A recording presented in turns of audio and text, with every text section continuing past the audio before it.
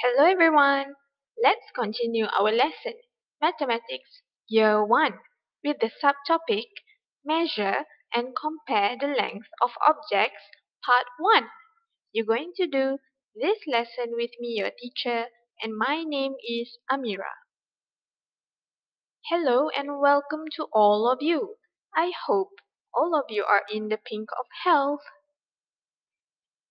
Are you ready? Please be ready. Set up your study space. Prepare your mathematics activity book and turn to page 47 and 48 of your book. Hurry up! Turn to page 47 and 48 of your mathematics activity book part 2. For today, you will learn to measure length of objects. You're going to measure length of objects. Now, let's begin by doing the measuring. Look at here, what we have here. We have a box, a box. Now, we have pins. We have safety pins. Hmm, how can we measure the length of the box? How can we measure the length of the box? We can measure the length of the box using the safety pin. We can measure the length of the box using the safety pin. We arrange the safety pin as I show you in the picture here. Now we have one, two, three, and four. Four pins. So, the length of the box is equal to 4 pins. The length of the box is equal to 4 pins. Now, look here. What we have here? We have a book. A book. Now, we have erasers. Erasers. So, we want to measure the width of the book. We want to measure the width of the book. We can measure the width of the book using the erasers. We can arrange the erasers just like what I show you in this picture now. So, we have here one, two, three, four, five. Five erasers. So, the width of the book is five erasers.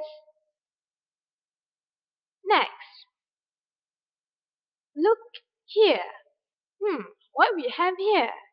We have a table. A table. Now, we have box. Box. Now, we want to measure the height of the table. We want to measure the height of the table. We can measure the height of the table using box.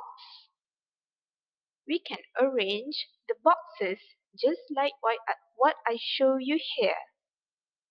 So, we have one, two, three, four, five. Five boxes. The height of the table is equal to five boxes. The height of the table is equal to five boxes.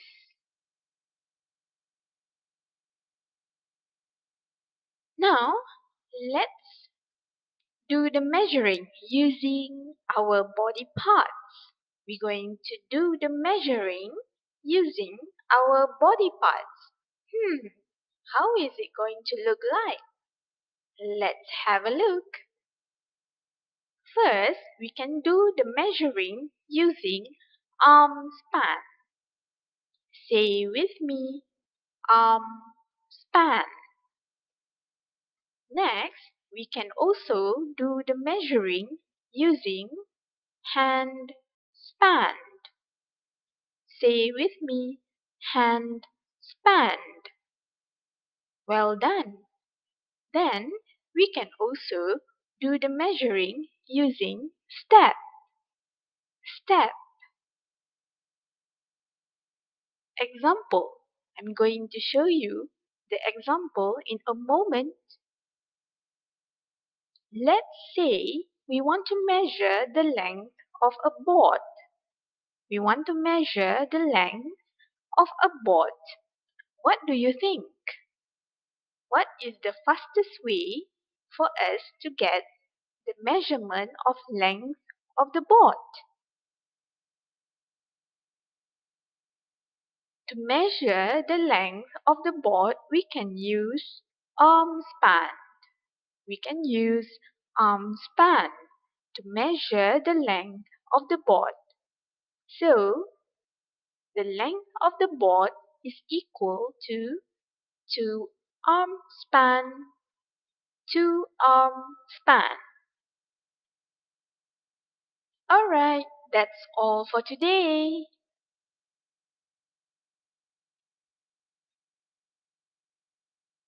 For your main task, ready with your book, ready with your pencil, please circle page 47 and 48 of your Mathematics Activity Book Part 2. You need to complete page 47 and 48 of Mathematics Activity Book Part 2. This is your main task. Please submit this task before 5 p.m. today. For your additional task, ready with your pencil? Please circle page 44 of Mathematics Activity Book Part 2. You need to complete page 44 of Mathematics Activity Book Part 2. This task can be submitted after 5 p.m. This task can be submitted after 5 p.m. This is your additional task. Alright, thank you for listening. Oh, don't forget, please refer to your Google Classroom to see further information. Bye, see you next time.